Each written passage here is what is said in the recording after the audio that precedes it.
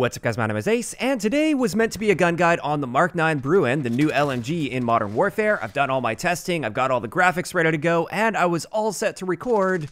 However, I ran into a bit of a problem. I can't get any gameplay for it right now because this update completely broke the matchmaking system and the servers within this game. I can't get into a proper game at the moment. If I try searching in Ground War, it's been taking me roughly 10 minutes to get into a match, and every single match I've been getting into, it's been towards the end of the match while being spawn trapped by the other team.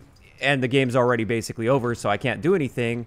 And so I was thinking, you know what, I'll just stick through that match and it will get me in the beginning of a new match, because that typically is how it works. But every single time I've tried this, I lose connection to the host once that game ends, and therefore I have to search again, and I get into another game late after 10 minutes of searching. Now that's just in Ground War. I have been able to find a few matches of 6v6, but on almost every single one of them, it's not a full lobby, and for whatever reason, I don't get players on my team, but the enemy gets players on their team.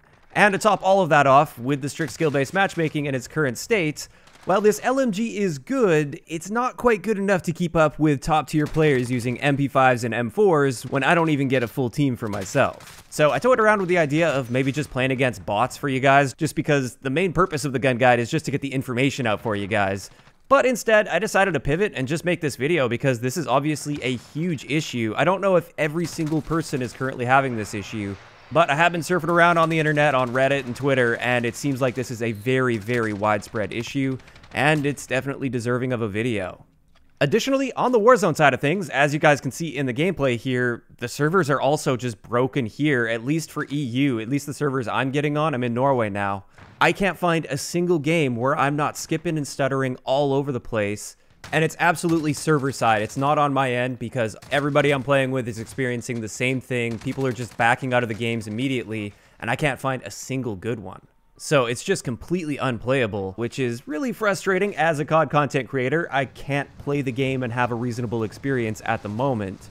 And to top all of this off, there has been no acknowledgement whatsoever by any official channels of these issues.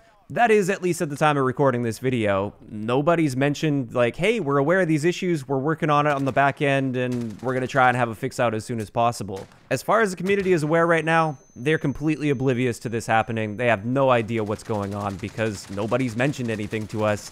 But I guess there is one little silver lining. Yesterday, they did come out with a playlist update for Warzone that removed the most wanted contracts and replaced them with bounties. Bounties are back. This is great news. I just wish I could play the game right now and enjoy those bounties. Hopefully, they manage to get this worked out soon so that we can actually play the game again.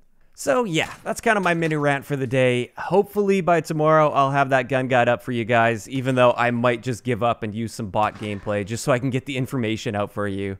But I am curious to hear from you guys. Have you been experiencing the same thing with extremely long matchmaking times or just not being able to get into a game, as well as really unplayably skippy lobbies within Warzone? And if so, I'm curious, especially with the Warzone side of things, are you guys experiencing this in North America, or is this just something that we're seeing on the EU servers? Just let me know your experiences in the comment section below. That's pretty much it for today's really quick off the cup video. I hope you enjoyed this one, and I'll talk to you guys next time.